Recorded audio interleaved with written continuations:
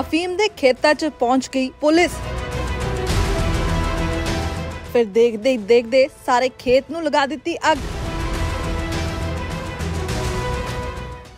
ਇਹ ਤਸਵੀਰਾਂ ਉੜੀਸਾ ਦੇ ਮਯੂਰਬੰਦ ਜ਼ਿਲ੍ਹੇ ਦੀਆਂ ਨੇ, ਜਿੱਥੇ ਅਫੀਮ ਦੀ ਗੈਰ ਕਾਨੂੰਨੀ ਖੇਤੀ ਖਿਲਾਫ ਪੁਲਿਸ ਨੇ ਵੱਡੀ ਕਾਰਵਾਈ ਕੀਤੀ ਹੈ। 5 ਲੱਖ 25 ਹਜ਼ਾਰ ਅਫੀਮ ਦੇ ਰੁੱਖਾਂ ਨੂੰ ਮੌਕੇ ਤੇ ਹੀ ਅੱਗ ਲਗਾ ਕੇ ਸੁਆਹ ਕਰ ਦਿੱਤਾ ਗਿਆ। ਦਰਸਲ ਪੁਲਿਸ ਨੂੰ ਅਫੀਮ ਦੀ ਖੇਤੀ ਦੀ ਸੂਚਨਾ ਮਿਲੀ ਸੀ, ਜਿਸ ਤੋਂ ਬਾਅਦ ਪੁਲਿਸ ਨੇ ਮੌਕੇ ਤੇ ਛਾਪਾ ਮਾਰਿਆ ਤੇ ਉਹਨਾਂ ਨੂੰ ਅਫੀਮ ਦੀ ਫਸਲ ਦਿਖੀ। ਜਿਸ ਤੋਂ ਬਾਅਦ ਪੁਲਿਸ ਨੇ ਦੇਖਦੇ ਹੀ ਦੇਖਦੇ ਸਾਰੇ ਖੇਤ ਨੂੰ ਅੱਗ ਦੇ ਹਵਾਲੇ ਕਰ ਦਿੱਤਾ। ਜਾਣਕਾਰੀ ਦੇ ਮੁਤਾਬਕ ਪੁਲਿਸ ਨੇ ਬਕਵਾ ਅਤੇ ਕੁੱਕਰਬੁਕਾ ਪਿੰਡਾਂ 'ਚ ਗੈਰ ਕਾਨੂੰਨੀ ਅਫੀਮ ਦੀ ਖੇਤੀ ਤੇ ਸ਼ਿਕੰਜਾ ਕੱਸਿਆ। ਪੁਲਿਸ ਨੇ ਕਾਰਜਕਾਰੀ ਮੈਜਿਸਟ੍ਰੇਟ ਜੰਗਲਾਤ ਵਿਭਾਗ, ਆਬਕਾਰੀ ਵਿਭਾਗ ਦੇ ਅਧਿਕਾਰੀ ਅਤੇ ਮਾਲ ਇੰਸਪੈਕਟਰ ਦੀ ਹਾਜ਼ਰੀ ਦੇ ਵਿੱਚ ਇਸ ਕਾਰਵਾਈ ਨੂੰ ਵਿੱਢਿਆ ਕਿਵੇਂ ਪੁਲਿਸ ਨੇ ਪੂਰੇ ਅਫੀਮ ਦੇ ਖੇਤਾਂ ਨੂੰ ਅੱਗ ਦੇ ਹਵਾਲੇ ਕੀਤਾ, ਤੁਸੀਂ ਵੀ ਦੇਖੋ ਇਹ ਵੀਡੀਓ।